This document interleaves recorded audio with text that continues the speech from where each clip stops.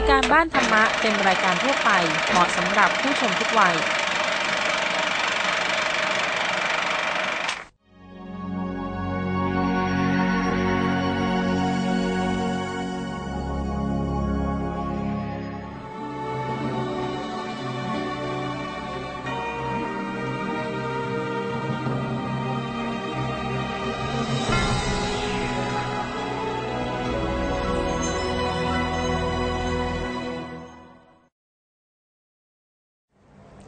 วัสดีครับผู้ชมครับขอต้อนรับเข้าสู่รายการบ้านธรรมะนะครับ ทุกเช้าวันพุธสถานีโทรทัศน์ NBT ครับ วันนี้ผมอดิศักดิ์ศรีสม และผมธนากรนรวชิระโยธินครับ เราทั้งสองคนดำเนินรายการนะครับ เนื้อหาสนับสนุนโดยมูลนิธิศึกษาและเผยแพร่พระพุทธศาสนาครับน้องธนากรวันนี้มีประเด็นอะไรบ้างครับ ครับก็มีคนถามมานะครับว่าการศึกษาธรรมะตามลำดับคือการศึกษาอย่างไร อืม และส่วนที่ไม่เป็นลำดับเนี่ยมันเป็นยังไง อืมมันจะแสดงว่าการศึกษาจะต้องมีเป็นลำดับไป ขั้นใช่ครับ บางคนก็ไม่รู้ตัวใช่ไหมว่าศึกษาใช่ ไม่เป็นลำดับ เป็นข้ามลำดับไป แล้วก็อืม ไม่ได้รับประโยชน์ที่แท้จริงจากการศึกษา เพราะฉะนั้นวันนี้จะได้รู้ละใช่ครับ ครับ อะมีประเด็นอื่นอีกไหมครับ ประเด็นต่อมานะครับ รู้ตรงลักษณะเห็นอืมจะเป็นอย่างไร ก็แสดงว่ามีรู้ไม่ตรงลักษณะเห็นใช่ครับ เออวันนี้ประเด็นน่าสนใจทั้งนั้นเลยครับ นะครับ อะต่อไปครับ ครับก็ในเรื่องของการศึกษาธรรมะอีกนั่นแหละครับ ครับ ท่านอาจารย์บอกนะครับว่าในการศึกษาธรรมะเนี่ยสำหรับผู้ที่ยังไม่มีพื้นฐานความเข้าใจในเรื่องของธรรมะมาก่อนเลยเนี่ย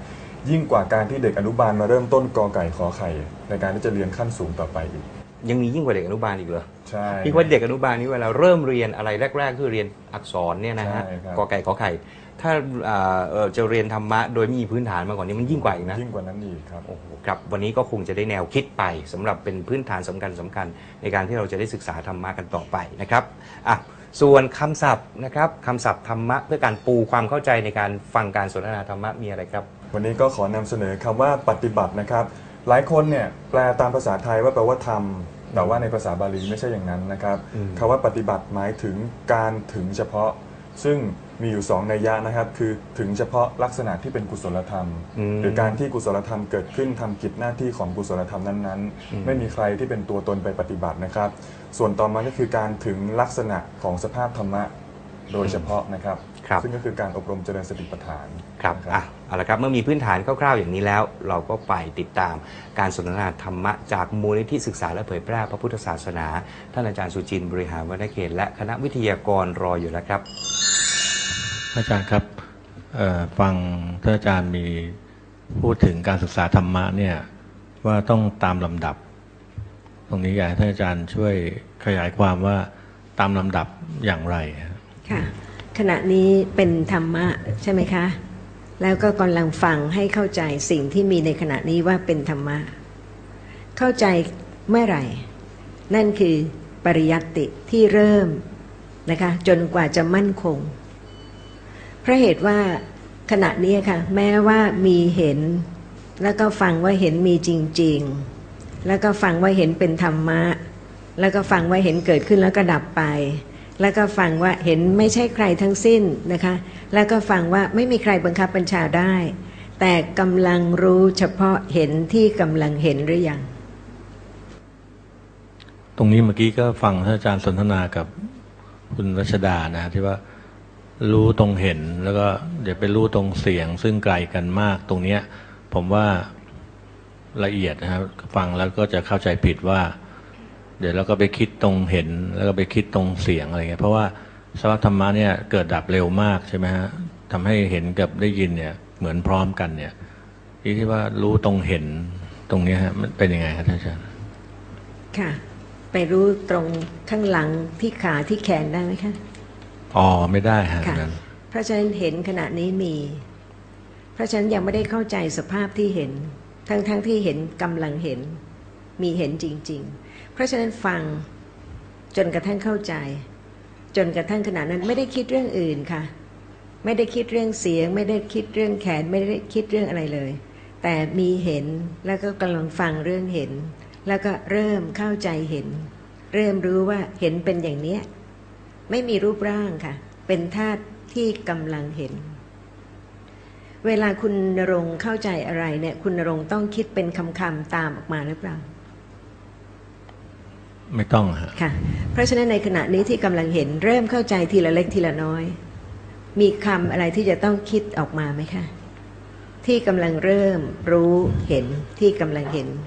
ไม่ไม่ต้องฮะค่ะ แต่ว่าขณะนั้นรู้แล้วใช่ไหมคะ ว่าไม่ได้สนใจอะไรเลย นอกจากมีเห็นแล้วก็ฟังแล้วก็เริ่ม ที่จะรู้รู้จักเห็นนะคะ รู้จักเห็นที่กำลังปรากฏว่ามีจริง ๆ ว่าเป็นเห็น จนกว่าจะคุ้นเคยว่าเป็นธรรมะ เพราะฉะนั้นเพียงการฟังนะคะ แล้วก็มีความเข้าใจที่มั่นคง จะรู้ความจริงของอะไร ถ้าไม่ใช่สิ่งที่กำลังปรากฏ สิ่งที่ดับไปแล้วไม่มีทางเลยค่ะ ที่จะเข้าใจความจริงของสิ่งนั้น สิ่งที่ยังไม่เกิดจะไปทำให้เกิดให้รู้ได้หรือ ในเมื่อยังไม่เกิดเพียงแต่คิดว่าจะไปทำให้เกิด โดยไม่รู้ว่าสิ่งที่เกิดแล้วต่างหาก ที่เกิดแล้วตามเหตุตามปัจจัย เพราะความเป็นอนัตตาไม่มีใครไปทำไปสั่งให้เกิดขึ้น แต่มีปัจจัยก็เกิด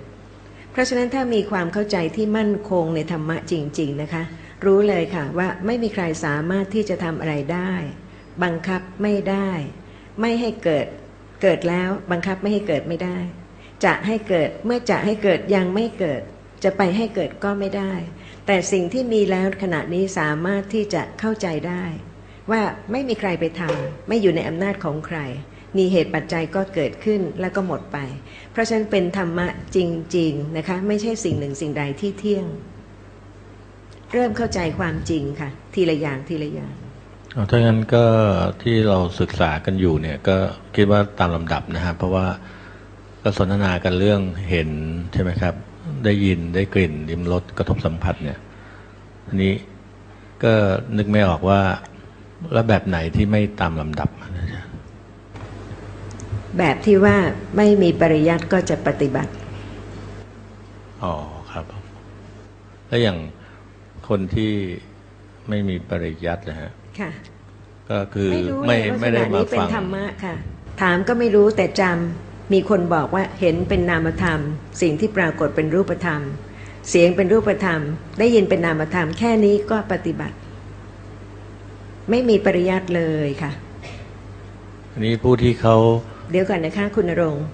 แข็งกำลังกระทบ มีใครไม่รู้บ้าง ไม่มีฮะรู้ว่าแข็ง ใช่ไหมคะ แต่รู้ไหมว่าแข็งเป็นธรรมะ ไม่รู้ฮะรู้ไหมว่าแข็งเกิด ไม่รู้ครับ รู้ไหมว่าแข็งเกิดดับ ไม่รู้ครับค่ะรู้ไหมว่าไม่มีใครเลยที่กำลังรู้แข็ง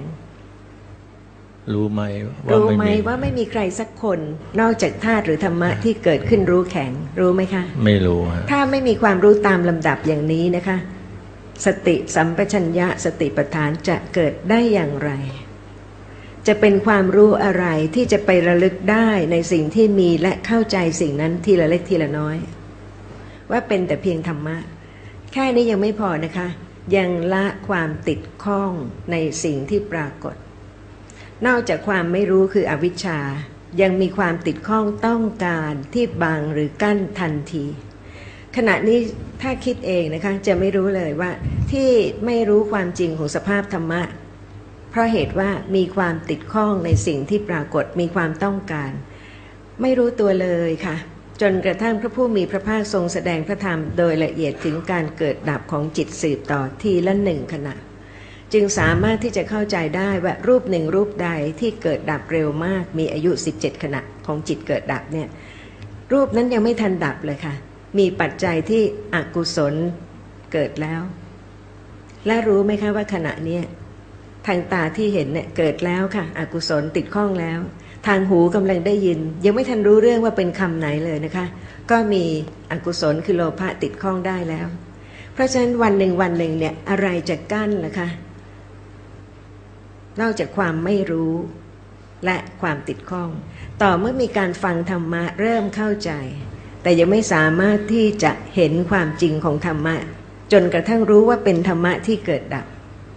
เพราะฉะนั้นเป็นเรื่องของความเข้าใจนะคะ เพราะฉะนั้นวิปัสสนาญาณะแม้การรู้แจ้งสภาพธรรมะก็ต้องตามลำดับค่ะ ทุกอย่างต้องตามลำดับ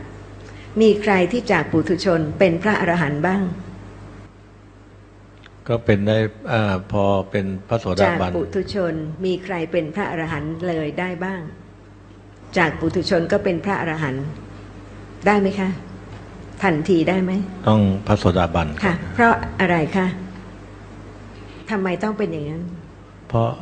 ดับได้เพียงความเห็นผิด เพราะต้องดับกิเลสตามลำดับ แสดงว่ากิเลสมากแค่ไหน อันนี้เอ่ออันนี้พูดจากใจจริงนะอาจารย์ ก็คือจากการศึกษาเนี่ยก็ทราบว่าเอ่ออย่างแข็งเมื่อกี้ท่านอาจารย์ยกตัวอย่างเนี่ย เราไม่รู้การเกิดดับ เพราะว่าถ้าจะรู้ตรงนั้นเนี่ย ปัญญาจะต้องขั้นปฏิเวทะอะไรอย่างเงี้ยนะครับ เราก็คือฟังฟังว่าเกิดดับไปก่อนถูกไหมฮะฟังว่าเกิดดับไปก่อนถูกไหมหมายความว่าอะเอาใหม่ฮะเอาใหม่เอาใหม่ไม่ไม่ไม่ค่ะพูดถูกไหมไม่ได้เอ่อไม่ใช่พูดไม่ได้ค่ะ พูดแต่ถูกไหมว่าแปลว่า ไม่เข้าใจอย่าถูกมาต้องถามครับ ไม่ใช่อย่ามาถามอ่าแต่หมายความว่าถามใคร และคนนั้นน่ะต้องจะถามให้ตัเราวเองเกิดปัญญาโดยการตอบ หรือว่าใช่ให้ครับเราเข้าใจอ่าฮะค่ะถ้าคือถามใครแล้วเขาตอบไม่มีประโยชน์ไหมเรายังไม่ได้เข้าใจเลยแค่เขาตอบใช่ว่าใช่ไม่ใช่เป็นเราก็ปัญญาไม่ของเขาเราก็ยังไม่เข้าใจ แต่ถ้าถามแล้วเขาให้เราเข้าใจได้ อย่างนั้นควรถาม ไม่ใช่ว่าเพียงต้องการคำตอบว่าใช่ไม่ใช่ ถูกไม่ถูกได้ไม่ได้ อย่างนั้นก็ไม่ใช่ความเข้าใจของเราเลย เป็นปัญญาของเขาอันนี้เอ่อหมายถึงว่าก็คือตอนเนี้ยเรามีความเข้าใจน้อยนิดมากใช่ไหมฮะก็จากการศึกษาก็รู้ว่าเป็นขั้นฟังอันนี้แข็งเนี่ยลูกที่บ้านก็รู้ แต่ว่าไม่รู้การเกิดดับอย่างที่ท่านอาจารย์กล่าวนะฮะตอนนี้เราก็รู้อย่างนั้นเหมือนกัน เพียงแต่ว่าเราเท่าได้กันเลยเท่ากันเลยค่ะเพราะแต่ฉะว่านั้นจะเด็กผู้ใหญ่ เวลาแข็งปรากฏก็รู้ลักษณะที่แข็งเพียงแค่รู้ความแข็งนะคะ สัตว์รู้ไหมคะรู้ครับ มีกายภาษาท่าไหมมีฮะค่ะรู้แข็งเหมือนกันไหมเหมือนกัน ต่างไหมขณะที่คนรู้แข็งหรือเด็กรู้แข็งหรืองูรู้แข็งหรือช้างรู้แข็ง หรือหมีแพนด้ารู้แข็ง ไม่ต่างค่ะ ไม่ต่าง เห็นก็ไม่ต่างกันและต่างกันตรงไหน ระหว่างสัตว์กับคน ต่างกันตรงปฏิสนธิด้วยอกุศลค่ะ เกิดแล้วค่ะ เกิดอ๋อต่างกันตรงเกิไหนดแล้ว แล้วก็มีเห็นเหมือนกันหมด มีรู้แข็งเหมือนกันหมด ความต่างอยู่ที่ไหนอ๋อคุณนรงค์ยังสาเขามารถจะเข้าใจแข็งได้ใช่ไหมคะ คือสัตว์เข้าใจไม่ได้ เพราะว่าไม่มีไม่รู้ภาษาอันนี้ก็เดี๋ยวย้อนมาตรงที่ผมก็ยังไม่เข้าใจอะนะฮะตรงนี้ที่ว่า ก็คือตอนนี้ก็ต้องอดทนที่จะ รับรู้ก่อนว่าแข็งเนี้ยเกิดดับถูกไหมครับท่านอาจารย์ ค่ะ ขอทราบอดทนหมายความว่ายังไง เพราะยังไม่รู้ความจริงนั้น ค่ะ และ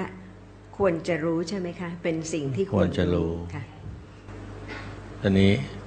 เพราะฉะนั้นความเพียรที่จะรู้ในสิ่งที่ยังไม่สามารถจะรู้ได้ ก็เป็นความอดทนอย่างหนึ่ง แม้แต่จะเป็นวิปัสสนาญาณะแล้วนะคะ ก็ยังมีวิปัสสนาญาณะที่เป็นขันติญาณะ อย่างอ่อน อย่างกลาง อย่างสูงอันนี้เพื่อที่จะละการยึดถือสภาพธรรมะที่เคยยึดถือมานานแสนนานว่าเป็นเราหรือว่าเป็นตัวตน และปัญญาระดับนี้นะคะ เพราะฉะนั้นการฟังธรรมะไม่ต้องไปคิดถึงเลยนะคะ เวลาที่อกุศลจิตเกิด ก็เป็นธรรมะถ้ารู้ความจริง ฟังธรรมะแล้วก็รู้ว่าเป็นธรรมะ ไม่ใช่ว่าพออกุศลจิตเกิดก็ไม่อยากมีทำยังไงจะไม่มี นะคะก็เป็นตัวตนซึ่งพยายามที่จะไม่มี แต่ว่าไม่มีความเข้าใจว่าเป็นธรรมะ เพราะฉะนั้นขณะนั้นไม่ได้ละสภาพธรรมะจะปรากฏตามความเป็นจริงว่า แม่อกุศลก็เกิดแล้วดับแล้วได้อย่างไร ในเมื่อมีความเป็นตัวเราเนี่ยไปเพียรทำอย่างอื่นดังนั้นก็เป็นเหตุเป็นผลนะท่านอาจารย์ที่ว่าสภาพธรรมะเนี่ย ผมก็คิดตามว่าถ้ารู้การเกิดดับเนี่ย รับรองเลย ละคายกิเลสแน่นอน แต่อย่าไม่ลืมนะคะว่าไม่ใช่เรานะคะฮะไม่ใช่เรา ปัญญารู้ปัญญารู้ตอนนี้เพราะตอนละตอนเนี้ยก็ค่ะคือแข็งตลอดเห็นตลอดเนี่ย ก็หลีกเลี่ยงไม่ได้ที่จะต้องเป็นเขาเป็นเราเป็นสิ่งของต่าง ๆ เนี่ยใช่ไหมฮะถึงแม้เรามาฟังแล้วว่าเอ่อสิ่งที่ปรากฏเป็นอย่างไรนะฮะเพราะฉะนั้นสะสมกำลังของปัญญา ปัญญานี้จะมีกำลังเพิ่มขึ้นเพิ่มขึ้นนะคะ จนสามารถที่จะรู้แจ้งแทงตลอดความจริงของธรรมะที่กำลังเกิดดับในขณะนี้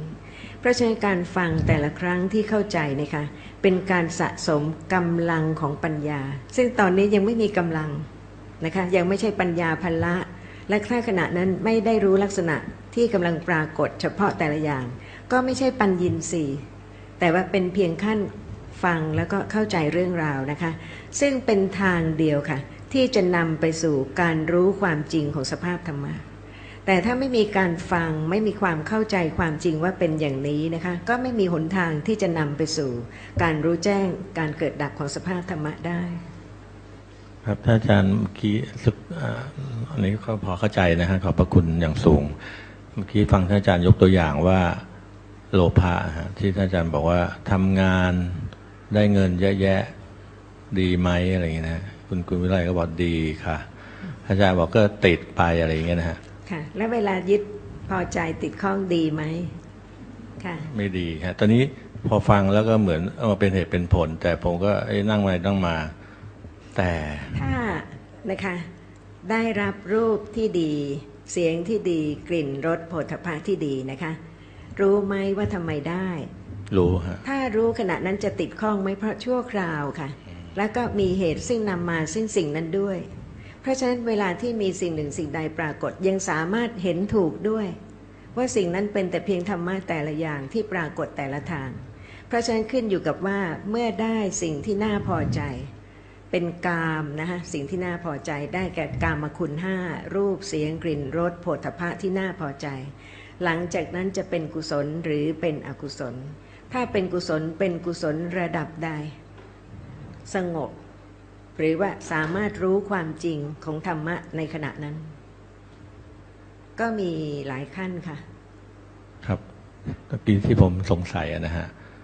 พื้นๆนะท่านอาจารย์คือว่า บอกว่าคนที่ทำงานแล้วก็มีเงินเยอะๆก็จะก็จะไปติดเงินใช่ไหมครับ ก็ถูกฮะอ่าขอโทษค่ะ คนที่มีเงินน้อยติดไหมคะนี่ฮะกำลังเลยก็จะถามว่าค่ะเอ๊ะคนที่ทำงานเยอะๆแต่ได้เงินน้อยเขาก็ติดอยู่ดี ไม่ต้องทำงานเยอะจะเยอะหรือไม่เยอะแต่เงินน้อยๆติดไหมคะก็อยากได้เยอะ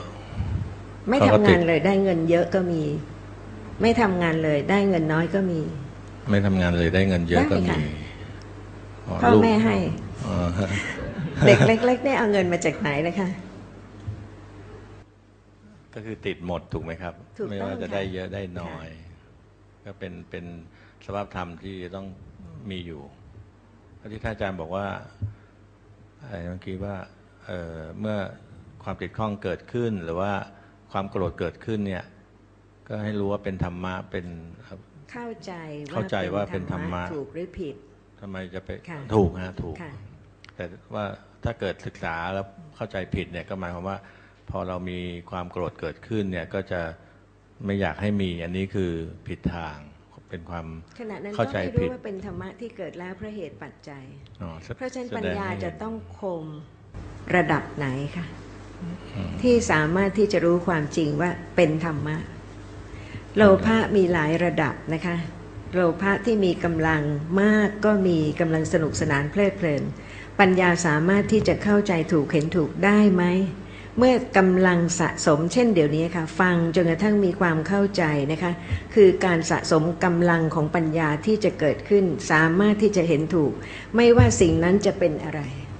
อย่างโลภะปกติในชีวิตประจำวันเนี่ยมีใครรู้บ้างว่าเป็นโลภะโลภะเองไม่รู้แน่ๆ เพราะเป็นอกุศลใช่ไหมคะ แล้วปัญญาก็ไม่เกิดพอที่จะเข้าใจถูกว่าขณะนั้นเป็นธรรมะ แต่จากการฟังแล้วมีความเข้าใจขึ้น เนี่ยค่ะตามลำดับก็คือว่า มีความเข้าใจมั่นคงขึ้น มั่นคงขึ้นนะคะ สัญญาความจำที่มั่นคงเป็นปัจจัยให้สติปัฏฐาน หรือสติสัมปชัญญะ มีการรู้ลักษณะเฉพาะที่กำลังปรากฏทีละอย่าง ไม่มีใครไปบังคับค่ะ แต่ว่าจากการฟังแล้วก็เข้าใจขึ้น แล้วก็ไม่ลืมว่าเป็นธรรมะ แล้วไม่หวังด้วยนะคะ ว่าสติจะเกิดเมื่อไหร่ ไม่หวังว่าสติจะเกิดระลึกรู้อะไร ใช่ไหมคะ บางคนก็อยากจะให้ระลึกรู้ลมหายใจ นั่นแหละคะสติ อยากแท้ๆเลย จะเป็นสติได้ยังไง เพราะว่าไปหวังว่าอยากจะรู้ลมหายใจ นี่คือความละเอียดของธรรมะนะคะ ที่จะกันไม่ให้ตกไปในความเห็นผิด เพเพราะฉะนั้นจึงทรงแสดงพระธรรม 45พรรษาเนี่ยค่ะ โดยละเอียดโดยประการทั้งปวง เพื่ออนุเคราะห์ไม่ให้เห็นผิด ทรงแสดงทั้งมิจฉามักและสัมมามักให้รู้ว่าถ้าผิดจากสัมมามักก็คือมิจฉามักไม่ได้รู้อะไรตามความเป็นจริง หมายความว่าปัญญาที่จะรู้ความจริงว่าอาโกรธหรือความผิดข้องเป็นธรรมะเนี่ยก็คือปัญญาขั้นสติสัมปชัญญะเกิดใช่ไหมซึ่งมาจากไหน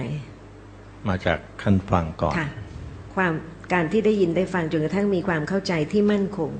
ไม่เปลี่ยนแปลง ถ้าคิดจะทำ หมายความว่าขณะนั้นไม่ได้เข้าใจธรรมะเลยค่ะ เพราะว่าธรรมะเกิดแล้วเดี๋ยวนี้ และไม่รู้ธรรมะเดี๋ยวนี้ที่เกิดแล้วแล้วจะรู้อะไร จะไม่เห็นความเป็นอนัตตาจะไม่เห็นความเป็นปัจจัยถ้างั้นเหตุกับผลตรงกันแล้วฮะท่านอาจารย์ เพราะว่าถ้าอาจารย์จะจะถามผู้สนทนาเสมอว่า รู้หรือยังว่าเป็นธรรมะ แล้วเราก็รู้ว่าไม่รู้เนี่ย ก็เพราะว่าความเข้าใจเราอยู่ในขั้นฟัง ใช่ไหมฮะ เมื่อไหร่รู้ก็แสดงว่า ติสัมปชัญญะเริ่มเกิดค่ะ ตอนนี้ใครรู้บ้างว่าคุณนรงคิดอะไร สติสัมปชัญญะของคุณนรงเกิดได้ถ้ามีปัจจัยใครจะรู้ ใช่ไหมคะ คนอื่นรู้ไม่ได้เลย แต่ปัญญารู้ได้ ปัญญาของใครขณะที่สติสัมปชัญญะเกิด ต้องมีปัญญาเกิดร่วมด้วย รู้ความต่างของขณะที่หลงลืมสติกับขณะที่สติเกิด จะไม่รู้ได้ยังไงคะ ถ้างั้นสมมุติว่าถ้าเกิดเกิดนี่ก็คือ ปัญญาเป็นผู้รู้ไม่ไม่ใช่ว่าตัวผมเป็นผู้ไม่รู้มีตัวค่ะ ไม่มีตัว ปัญญาเห็นถูกตามความเป็นจริงว่าเป็นธรรมะแต่ละอย่าง ในการศึกษาธรรมะตามลำดับขั้นนี้นะครับ ก็จะต้องเป็นในขั้นของปริยัติปฏิบัติและปฏิเวทตามลำดับ ซึ่งใน 3 ส่วนนี้นะครับก็จะต้องเริ่มจากปัญญานะครับอืมปัญญาคือความเข้าใจที่ถูกต้องโดยตลอดนะคอืรับมอะแล้วหมายความว่าถ้าไม่ตามลำดับแล้วยังไง ตัวอย่างเช่นนะครับ บุคคลที่จะไปปฏิบัติ โดยที่ยังไม่มีปริยัติอืมคือไม่มีความรอบรู้จากการศึกษาในสภาพธรรมะโดยรอบรู้ทั่วถึงนั่นเองครับอืมแล้วคิดว่าจะไปปฏิบัติเพื่อรู้อะไรเอง ซึ่งเป็นไปไม่ได้เลยนะคครัรับ บเพราะฉะนั้นอะไรก็ตามมันก็ต้องเป็นไปตามลำดับลำดับขั้น นะครับรู้ตรงลักษณะเห็นเป็นยังไงครับก็อว่าจริง ๆ แล้วนะครับขณะนี้ก็ทุกคนก็เห็นเป็นปกตินั่นแหละครับ แต่อยู่ที่ใครจะสะสมปัญญามาที่จะสามารถอืมเกิดความระลึกรู้ลักษณะ ตรงเห็นจริงอืมคๆรับนั่นที่มีเป็นปกติอย่างนี้แหละครับ อืมครับอะส่วนประเด็นสุดท้ายยิ่งกว่าเด็กอนุบาลอีกเนี่ยครับ ยังไง จริง ๆ แล้วนะครับท่านอาจารย์ก็อธิบายชัดเจนนะครับว่า โลกของธรรมะเนี่ยเป็นอีกโลกหนึ่งเลย ซึ่งถึงแม้ว่าจะมีเป็นปกติชีวิตประจำวัน แต่ความเข้าใจนี่อีกคนละโลกกันเลยครับ อืมครับ เพราะฉะนั้นเอ่อต้องเริ่มจากความเข้าใจขั้นต้นเสียก่อน นะครับผมเอาละครับ เดี๋ยวเราคงพักกันตรงนี้สักครู่นะครับ กลับมาช่วงหน้ายังมีอีกนะฮะประเด็นยังมีเยอะเลยนะครับมากมายครับ อ้าวพักกันก่อนนะครับ เดี๋ยวกลับมาครับ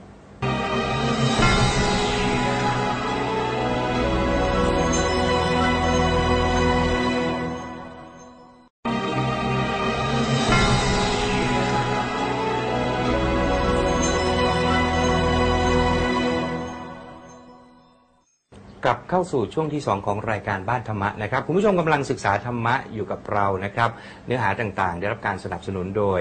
มูลนิธิศึกษาและเผยแพร่พระพุทธศาสนานะครับอามาช่วงที่ 2 ประเด็นน่าสนใจไหมช่วงนี้น้องธนากร ครับก็ในเรื่องของการศึกษาธรรมะเนี่ยนะครับ ครับก็จะมีคำศัพท์มากมายที่มาใหม่เลยทีเดียวนะครับ อืมแล้ววันนี้ก็แน่นไปด้วยเนื้อหามากเลยนะครับ คือครัคำบว่าขันติญาณะ ขันติยานะ ใช่หมายเป็นว่า คำใหม่ที่ผมเพิ่งเคยได้ยินนี่แหละครับ หมายถึงคืออะไรใช่ไหมใช่ครัเอางี้อะขันติอะไรล่ะ ขันติแปลว่าความอดทนอืมญายานะณะก็แปลว่าปัญญา เมื่อเอามารวมกัน ใช่ครับก็เป็นขันติญาณะเพราะฉะนั้นคืออะไรต้องติดตามนะครับครับผม อะมีเรื่องราวอะไรต่อครับ ครับในเรื่องของการได้ลาบนะครับ หลายคนสงสัยครับว่าการได้ลาบนั้นได้มาเพราะอะไรนะครับ เพราะว่าบางคนเนี่ย เหมือนกับพยายามทำทุกสิ่งทุกอย่าง เพื่อให้ได้มาซึ่งทรัพย์สินเงินทอง หรือว่าสิ่งอืมที่ตัวเองปรารถนาเนี่ยนะครับ ด้วยความอยากแล้วก็ได้มาจริงอืมๆอันนี้จะเป็นเพราะว่าได้มาเพราะความอยากหรือไม่อืมหรือว่าได้มาเพราะเหตุอื่นครับก็ต้องติดตามกันครับครับอะถ้าอย่างนั้นเดี๋ยวก่อนเราไปติดตามนะครับคำศัพท์ธรรมะในช่วงนี้ครับ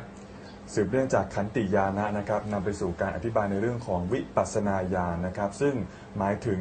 ปัญญาที่เห็นแจ้งลักษณะของสภาพธรรมะที่กำลังปรากฏโดยประการต่างๆ ทั้งหมด 16 ขั้น 16 ประการนะครับ ซึ่งไม่ใช่เพียงแค่ปัญญาระลึกรู้นะครับ แต่อืมขั้นเห็นแจ้งนะครับอืมต้องไม่ครับธรรมดาแน่นอน แต่จะมีรายละเอียดอยู่ในช่วงของการสนทนาใช่ธรรมะนะครับ เพราะฉะนั้นเพื่อไมีเสียเวลาครับ เราไปติดตามพร้อม ๆ กันครับพอดีหนูฟังวิทยุจากท่านอาจารย์ทั้งไปประมาณห้าเดือนกว่าแล้วนะคะ อาทิตย์ที่ผ่านมาที่หนูจะมาสนทนากับอาจารย์ แต่ว่าหนูก็ลืมหมดแล้วก็กลับไป ทีนี้อาทิตย์นี้หนูจะจะสนทนากับอาจารย์ว่าเออที่หนูหนูฟังอาจารย์แล้วหนูเข้าใจ หนูเข้าใจที่อาจารย์ ที่อาจารย์บรรยายมา แต่ว่าหนูฟังไปเข้าใจมั่งไม่เข้าใจมั่งอะค่ะแต่ว่าทีนี้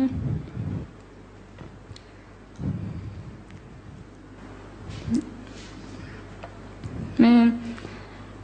อยาไม่เข้าใจไม่ที่หนูเข้าใจอะค่ะที่ที่หนูเข้าใจแล้ว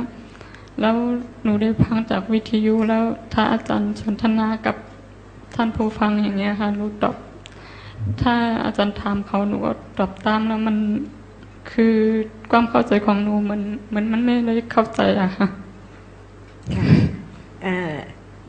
การเข้าใจ ทีแรกจะมากไม่ได้เลยนะคะ เวลาเราไปเรียนหนังสือเข้าโรงเรียนวันแรกเนี่ย อ่านหนังสือออกไหมคะแล้วก็ไปเอาหนังสือของชั้นมัธยมมาดูมาอ่านได้ไหมคะ ไม่ได้ค่ะไปโรงเรียนวันแรกยังไม่รู้อะไรเลย เพราะฉะนั้นการฟังธรรมะยิ่งกว่านั้นอีก อีกโลกหนึ่งเลยค่ะ โลกที่พระอรหันตสัมมาสัมพุทธเจ้า ทรงตรัสรู้ความจริงทุกขณะจิต แม้แต่ในหนึ่งขณะซึ่งเป็นจิตที่เกิดขึ้นเนี่ยนะคะ มีสภาพธรรมะอะไรเกิดร่วมด้วย โดยปัจจัยอะไร ละเอียดมากเพื่อที่จะให้คนที่ไม่เคยที่จะเข้าใจธรรมะว่าความจริงคืออย่างนี้เนี่ยนะคะ ได้เริ่มรู้ว่าแท้ที่จริงแล้วความจริงเป็นธรรมะแล้วก็เป็นธรรมะแต่ละอย่างอย่างนี้ด้วย เพราะฉะนั้นก่อนอื่นนะคะ เวลาฟังธรรมะเนี่ยยังไม่ต้องไปหวังอะไรมากมายเลย เหมือนทุกวิชาที่เราเรียนเนี่ยค่ะ พอเริ่มฟังเนี่ยจะให้เราไปรู้ทั่วทีเดียวเนี่ยไม่ได้ แต่พอเริ่มฟังก็เริ่มเข้าใจ ถูกต้องไหมคะ ทีละเล็กทีละน้อยธรรมะก็เช่นเดียวกัน และเป็นสิ่งที่ลึกซึ้งกว่าอย่างอื่นทั้งหมดด้วย เพราะว่าพระผู้มีพระภาคผู้ทรงตรัสรู้เป็นผู้ทรงแสดง ด้วยเหตุนี้นะคะ ฟังธรรมะ เพราะเราไม่ได้เข้าใจธรรมะเราจึงฟัง ถ้าเรารู้ธรรมะแล้วเราจะมาฟังไหมคะไม่ค่ะถ้าเข้าใจหมดแล้วก็ไม่ต้องฟัง แต่เพราะทุกคนรู้ตัวว่าไม่รู้นะคะ จึงฟังเพื่อรู้ เพราะฉะนั้นขณะที่ฟังนี่ยค่ะจะเข้าใจทีละเล็กทีละน้อยมากขึ้น ก็เป็นความเห็นที่ถูกต้อง โดยที่ไม่มีใครมาบังคับ ใช่ไหมคะว่าให้เราเชื่อ หรือว่าให้เราคิดอย่างนี้อย่างนี้ แต่ฟังแล้วพิจารณากับสิ่งที่มีจริง ๆ ที่กำลังปรากฏว่ากำลังพูดเรื่องสิ่งที่มีจริง ๆ หรือเปล่า และสิ่งที่มีจริงเนี่ยเราคิดเองได้ไหมว่าไม่เที่ยงเกิดขึ้นแล้วก็หมดไป อย่างเกิดมาแล้วเนี่ยที่จะไม่แก่ไม่เจ็บไม่ตายไม่มีนะคะ แต่เกิดแก่เจ็บตายเนี่ยก็ช้ามากค่ะ เพราะว่าเห็นต้องดับได้ยินถึงจะเกิดขึ้น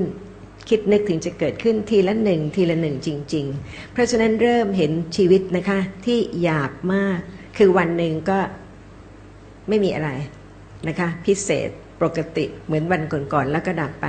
แต่ความจริงถ้าจะเข้าใจก็คือทุกขณะเนี่ยแยกเป็นโลกแต่ละโลกค่ะ แล้วก็เกิดเพราะมีเหตุปัจจัยที่จะให้เกิดไปบังคับก็ไม่ได้ ถ้าเข้าใจเพียงแค่นี้อย่างมั่นคงนะคะ ก็จะทำให้เราเข้าใจสิ่งที่มีแล้วก็ระลึกได้ ว่าสิ่งที่มีขณะนี้เกิดแล้ว และเราไปทำให้เกิดหรือเปล่า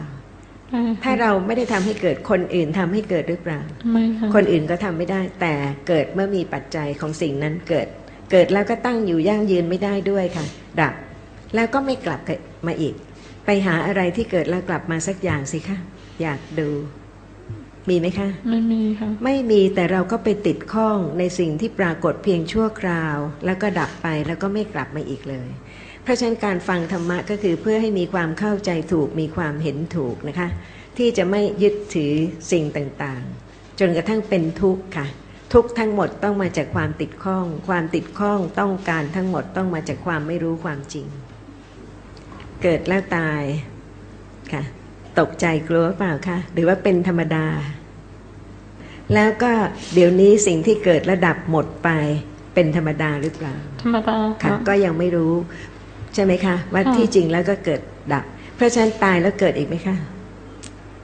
เกิดค่ะ เกิดแน่ๆ เพราะมีปัจจัยที่จะให้เกิดแต่ไม่รู้ว่าเกิดที่ไหน ค่ะ ถ้าทำความดีเป็นคนดีเกิดดีไหมคะดีค่ะ ค่ะเพราะฉะนั้นที่เกิดมาแล้วเป็นมนุษย์เนี่ยค่ะเป็นผลของกรรมดี แต่ไม่พอนะคะเพราะว่าต่อไปไม่รู้ว่ากรรมไหนจะให้ผล แต่ถ้าทำกรรมดีอยู่อย่างมั่นคงเรื่อยๆนะคะ จะหวังหรือไม่หวัง เวลาที่เหตุที่ดีมีก็ให้ผลที่ดีค่ะขอบคุณค่ะ ฟังธรรมะต่อไปนะคะค่ะค่ะขอบคุณค่ะเอ่อเมื่อกี้ได้ยินท่านอาจารย์กล่าวถึงขันติญาณนะนะครับ ไม่ทราบว่าจะมีวิทยากรท่านใดช่วยแปลค่ะ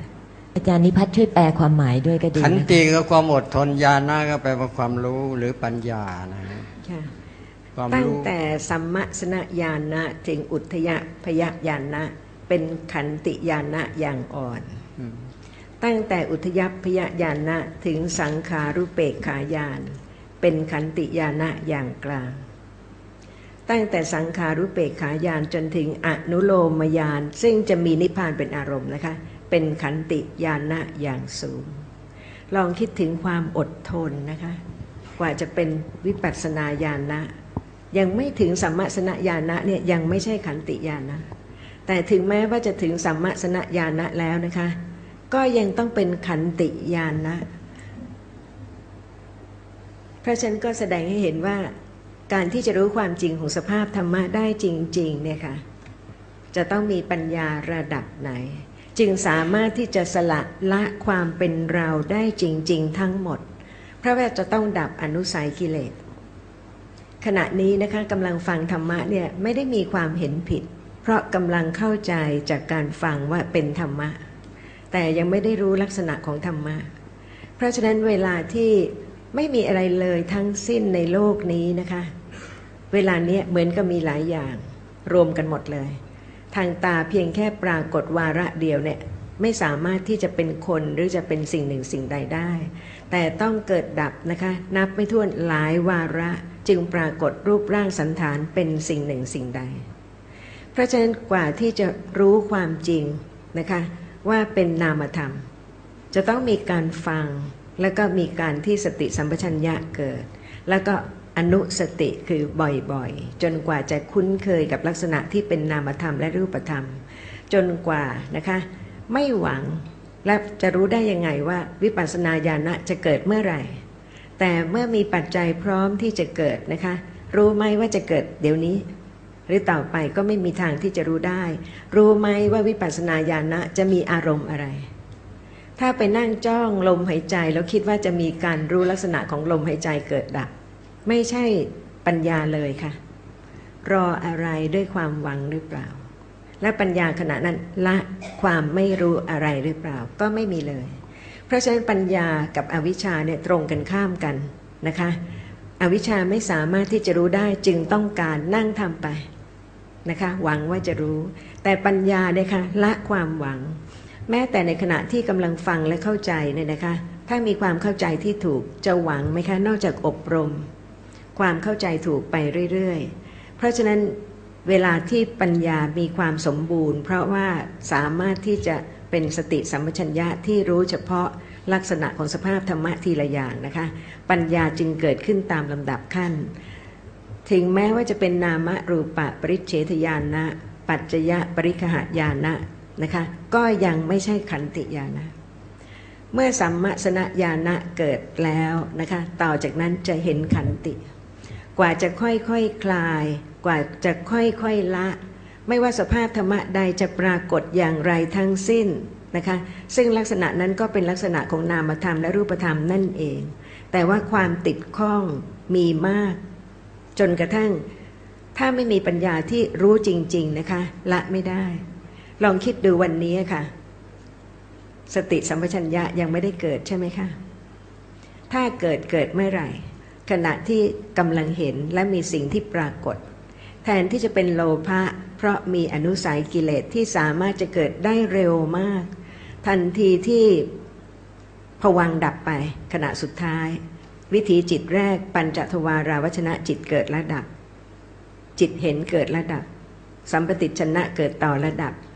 สันติรณะเกิดต่อระดับแค่นี้นะคะโวทพนะจิตเกิดระดับ เท่านี้เองค่ะเร็วแค่ไหนกิเลสเกิดแล้ว แต่เมื่อเป็นผู้ที่มีความเข้าใจที่มั่นคงนะคะ สติสัมปชัญญะเกิด จึงสามารถที่จะรู้และเข้าใจลักษณะของสภาพธรรมะแล้วจนกว่าจะทั้งหมดเนี่ยค่ะ เป็นปัญญาที่ละความไม่รู้และละความติดข้อง ถึงอนุสัยกิเลส การอบรมเจริญปัญญา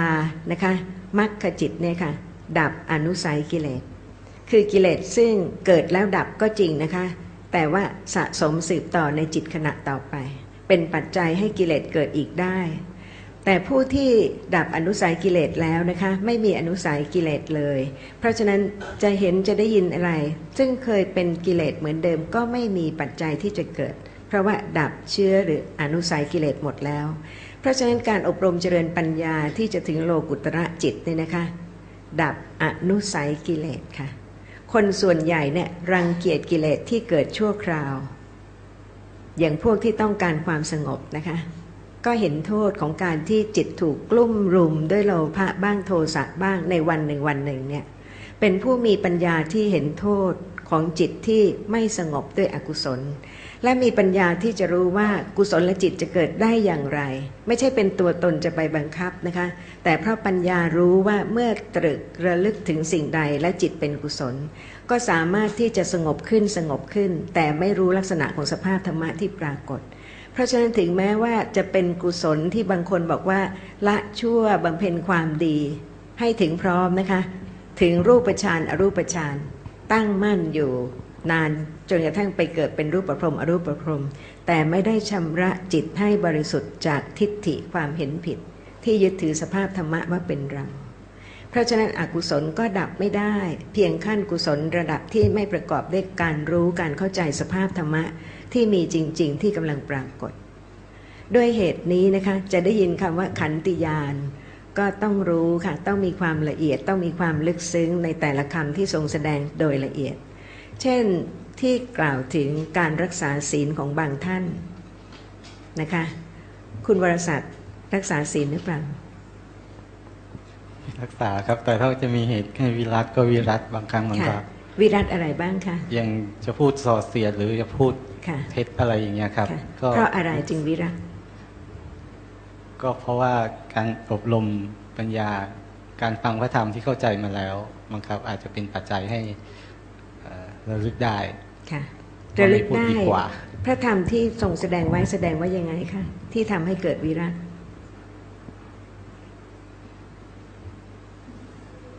ก็ถ้าผิดศีลนี้จะไปอบายอย่างนี้หรือเปล่าค่ะ กลัวอบาย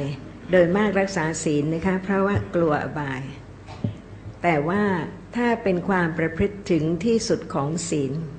ก็คือเห็นความเสียภายใน ภายในหมายความถึงจิต ขณะนั้นที่เป็นอกุศล วิรัตเพราะเหตุว่าขณะนั้นจิตเกิดเป็นอกุศล ที่จะทำให้ล่วงทุจริตทางกายทางวาจา เพราะฉะนั้นการวิรัตของแต่ละคนนี้ก็ต่างกันไปตามกำลังของปัญญา หรือว่าเราได้ยินคำว่า อินทริยสังวรนะคะ การสำรวมทางตาหู จมูก ลิ้นกาย แม้แต่โดยนัยยะของพระวินัย การเดินไปจะต้องทอดสายตาในละแวกบ้านหรืออะไรก็ตามแต่นะคะ ประโยชน์คือเพื่ออะไร เพื่อไม่ให้กิเลสเกิด กลุ่มรุมใช่ไหมคะ แต่นั่นเป็นแต่เพียงวินยะตามปาติโมกขะสิกขาบท แต่ว่าถ้าเป็นโดยปัญญานะคะ สามารถที่จะเข้าใจว่าสิ่งที่ปรากฏทางตา เป็นเพียงธาตุที่กระทบจากขุปสาทะทำให้จิตเห็นเกิดขึ้น และทั้งจิตเห็นและสิ่งที่ปรากฏทางตาก็ดับไป ไม่ทันที่จะเป็นรูปร่างสันฐานใด ๆ เลยทั้งสิ้น เพราะฉะนั้นถ้าเป็นอินทรียสังวระซึ่งซึ่งถึงที่สุดนะคะ ประพฤติถึงที่สุดก็คือ ไม่ติดในนิมิตอนุพยัญชนะ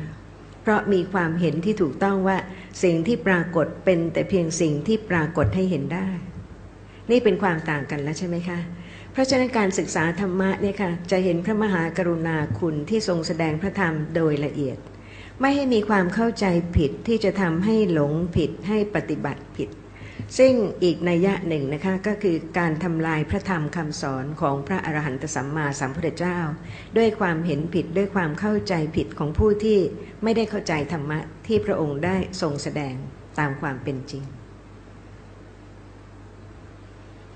กล่าวคือเมื่อกี้ขันติญาณก็คือเป็นปัญญาขั้นที่ค่อนข้างจะสูงมากนะครับค่ะแต่นามะหรือเฉทญาณยังก็ยังไม่ทราบ ก็เพียงแค่ทำความเข้าใจเป็นเบื้องต้นก่อน ไม่ใช่เพอราะดฉะนั้นถ้าไม่มีปัญญาอย่าคิดเลยนะคะ ว่าจะไปละกิเลสอะไรได้ หรือแม้ว่าปัญญาเพียงขั้นฟังก็ไม่สามารถที่จะเข้าใจลักษณะของสภาพธรรมะในขณะนี้ได้ครับเข้าใจเพียงเรื่องราวของสภาพธรรมะก่อนค่ะ แล้วฟังขึ้นเข้าใจขึ้นก็สามารถที่จะมีกำลังพอที่สติสัมปชัญญะจะเกิด แล้วก็รู้เฉพาะลักษณะของสภาพธรรมะที่กำลังปรากฏทีละอย่าง ครับกว่าจะรู้ลักษณะสภาพธรรมะที่ปรากฏขณะนั้นก็คือต้องต้องต้องละจากสภาพความเป็นสัตว์บุคคลตัวตนก่อนอย่างนั้นเข้าใจครับขึ้นค่ะ เข้าใจขึ้น กว่าเอ่อปัญจทวารแล้วก็มโนทวารที่คุยกับเอ่อคุณรัชดาเมื่อกี้นะครับค่ะกว่าสิ่งที่ปรากฏทางตาและทางหูจะแยกขาดจากกันได้ ขณะนั้นต้องเออความเป็นตัวตน ต้องปราศจากไปก่อนใช่ไหมครัยังค่ะ แล้วเดี๋ยวนี้อยู่ที่ไหนเดี๋ยวนี้ก็อยู่ตรที่งไหนฟังเนี่ยครับค่ะ ก็อยู่ที่ฟังครับใช่ไหมคะแล้วเมื่อไหร่จะถึงตรงนั้น จะรู้ได้ไหมถ้าเป็นปัญญา ถ้าเป็นปัญญาก็คงรู้ได้ครับค่ะแต่ว่าเมื่อไหร่ก็คงประมาณไม่ได้อีกนานแสนนาค่ะนหวังหรือเปล่าคะจะบอกไม่หวังก็หวังนะครับเพราะว่ามันก็นานใช่ไหมครับค่ะหวังก็เป็นธรรมะเห็นไหมคะครับ จะรู้ไหมว่าหวังขณะนั้นนะไม่ใช่เรา สามารถที่จะอาจหารที่จะละการยึดถือหวังว่าเป็นเราไหม หรือรังเกียจหวังก็เป็นเรารังเกียจเรื่องเกียรติครับค่ะ เพราะฉะนั้นกว่าจะแม้หวังก็เป็นธรรมะค่ะ ครับเมื่อกี้คุยกับเอ่อสนทนากับอาจารย์เอ่อคุณที่บอกว่าอะโลกธรรมที่ติดในลาบใช่ไหมครับคนที่มีลาบน้อยหรือว่าลาบมากอะไรก็ติดหมดใช่ไหมครับแต่ว่าคนที่มีลาบมาก ผลของเป็นผลของการแสวงหาหรือการขวนขวายจริง ๆ หรือเปล่าครับ หรือว่าไม่ใช่ครับ เป็นผลของกุศลกรรมมากกว่าครับอยากจะให้อาจารย์อธิบายอย่างไรว่า จริง ๆ แล้วลาบที่ได้มานั้น ไม่ใช่เป็นผลของการแสวงหา ค่ะ ขอเชิญคุณอนบค่ะลาบที่เราอยากจะได้กันเนะครับถ้าเราเข้าใจไม่ถูกก็นึกว่า ยิ่งอยากก็ยิ่งได้ อย่างบางคนเนี่ยครับเขาก็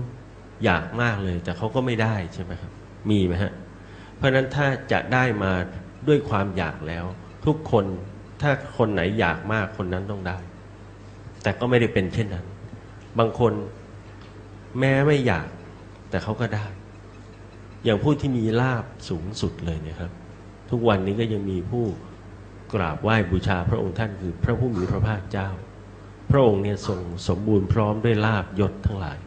แต่พระองค์ก็ทรงแสดงว่า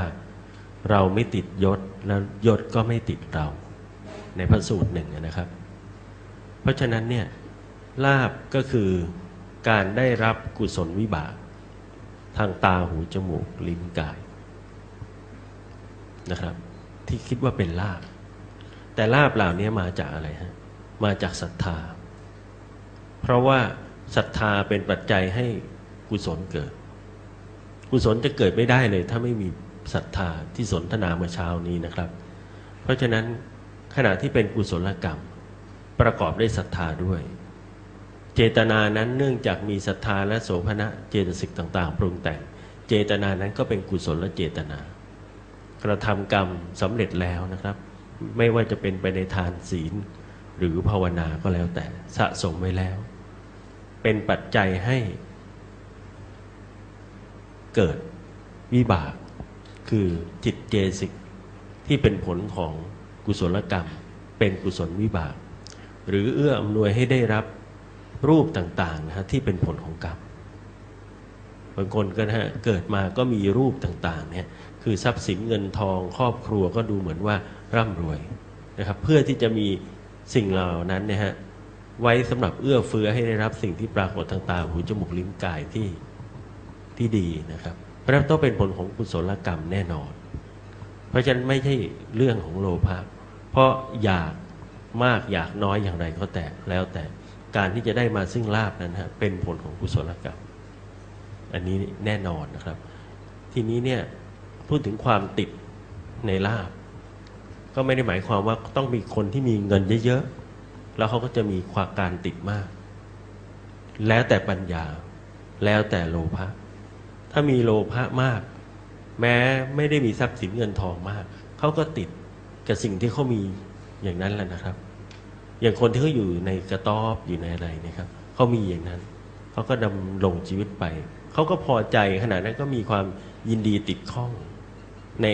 ในสภาพนั้นในอัตภาพนั้น เป็นหนอนก็มีความติดข้องแบบหนอน ใช่ไหมดูซึ่งเราเห็นว่าไม่น่าติดเลย แต่ในมืออัตภาพอย่างนี้เขาก็ติด แต่คนแม้จะมีทรัพย์สินเงินทองมาก เพราะเป็นผลของกุศลกรรม แต่เป็นผู้ที่มีปัญญา ก็ไม่ติดลาบยศสรรเสริญลาบยศสรรเสริญก็ไม่สามารถจะไปติดท่านเหล่านั้นได้ เพราะท่านไม่มีโลภะแล้วที่จะเกิดขึ้นติดข้อง แต่เมื่อโลภะเกิดติดนะโลภะติดได้หมด ยกเว้นโลกุตระธรรมเท่านั้น เพราะฉะนั้น ไม่ว่าจะมีลาบน้อยลาบมากก็คือ สิ่งที่ปรากฏทางตาหูจมูกลิ้นกายใจเนี่ยโลภะก็ติดได้ถ้าโลภะเกิด เรื่องของขันติญาณะเนี่ยนะครับ ก็ชัดเจนมากเลยทีเดียวนะครับ กับคำอธิบาย ซึ่งไม่ใช่ปัญญาระดับปกติเลยนะครับ อืม แต่เป็นปัญญาระดับขั้นวิปัสสนาญาณะ ตั้งแต่สัมมัสนญาณะเป็นต้นไป ซึ่งรายละเอียดนะครับท่านผู้ชมก็จะต้องศึกษาในขั้นสูงต่อไปนะครับ ครับ สรุปขันติญาณะ ก็คือว่าเป็นปัญญาอีกระดับ ซึ่งต้องเกิดจากการอบรมเจริญ อืม ปัญญาที่รู้ลักษณะของสภาพธรรมะที่กำลังปรากฏตามความเป็นจริงเสียก่อนนะครับที่จะไปครับถึงแล้วต้องอดทนไหมเนี่ยตกลงโอ้โหอดทนนะครับ ครับ แต่จะอดทนถึงระดับเป็นขันติญาณะหรือไม่นั้นก็อีกเรื่องหนึ่งนะครับ ครับ การได้ลาบตกลงยังไงแน่ จริงๆแล้วนะครับหลายคนเข้าใจว่าการได้มาซึ่งลาบเนี่ยเป็นเพราะว่าการแสวงหา ครับแต่ว่าคงไม่ถูกต้องทั้งหมด เพราะว่า บางคนแสวงหาทั้งชีวิตก็ไม่ได้มาซึ่งสิ่งที่ตัวเองปรารถนา อืม แต่เป็นเพราะว่าเป็นผลของกุศลกรรมในอดีตที่ได้กระทำไว้แล้วนะครับประกอบกับประโยคะสมบัติด้วย ฮะ คือการมีการแสวงหา มีความเพียรที่จะประกอบศิลปะวิทยาหรืออะไรก็แล้วแต่นะครับ ซึ่งบางทีปัจจัยเหล่าเนี้อาจจะไม่ไม่เสมอไปก็ได้นะครับ อืม เมื่อถึงเวลาที่กุศลกรรมจะให้ผลก็ให้ผล ครับเพราะฉะนั้นบอกการได้ลาบเอ่อเพราะว่าอยาก อย่างเดียวนั้นก็ไม่ใช่ไม่ละใช่ครับนะฮะถึงไม่อยากแต่ว่าบางทีก็ได้มา เพราะว่าผลของกุศลกรรมก็ได้ครับครับอะมีอะไรจะทิ้งท้ายอีกไหมน้องธนากร ก็มี 2 เรื่องนะครับ เป็นการวัดใจท่านผู้ชมที่ที่ได้ฟังแล้วนะครับ มีคำถามที่น่าคิดมากเลยนะครับว่า เวลาที่พูดถึงเรื่องความตายเนี่ยรู้สึกกลัว หรือว่าเป็นเรื่องธรรมดา ก็เป็นการวัดใจจากการได้ศึกษาธรรมะมาแล้วนะครับอืมส่วนในเรื่องของโลกของธรรมะ ฟังช่วงแรกอาจจะสงสัยว่ามันทำไมมันต้องแยกจากโลกปกติด้วยเหรออืมจริงๆแล้วนะครับ โลกของธรรมะนี่ก็คือ โลกของสิ่งที่ปรากฏชั่วขณะจริงๆนี่คือโลกของธรรมะครับครับอะตกลงนะฮะ แล้วสุดท้ายวันนี้เรามีหนังสืออะไรที่จะนำเสนอต่อคุณผู้ชมในช่วงท้ายนี้ครับ ครับก็เป็นเรื่องของเกิดแก่เจ็บตายโอ้ตรงกับเมื่อเมื่อสักครู่นี้ที่วัดถาใจมเมื่ใช่อไหมสักครู่นี้เลยครับว่า ตายเนี่ยกลัวหรือเป็นธรรมดาใช่ไหมใช่ครับ เพราะฉะนั้นถ้าอ่านเรื่องนี้จะเข้าใจ เข้าใจมากขึ้นนะครับว่าเป็นเรื่องธรรมดาจริงๆครับ ครับ แล้วยังไงฮะถึงจะได้ไปอ่าน ถ้าใครสนใจนะครับก็สามารถติดต่อไปได้ที่มูลนิธิศึกษา และเผยแพร่พระพุทธศาสนาดังที่อยู่ที่ปรากฏบนหน้าจอในขณะนี้ครับ หรือว่าจะติดต่อทางเว็บไซต์นะครับ www.dhammahome.com ครับ ครับเอาละครับ วันนี้เวลาของรายการบ้านธรรมะหมดลงตรงนี้แล้ว กลับมาพบกันใหม่สัปดาห์หน้านะครับ วันนี้ผมอดิศักดิ์ศรีสม และผมธนากรนรวชิรโยธินครับ เราทั้งสองคนลาไปก่อนนะครับ สวัสดีครับบุธังสรณังกัจฉา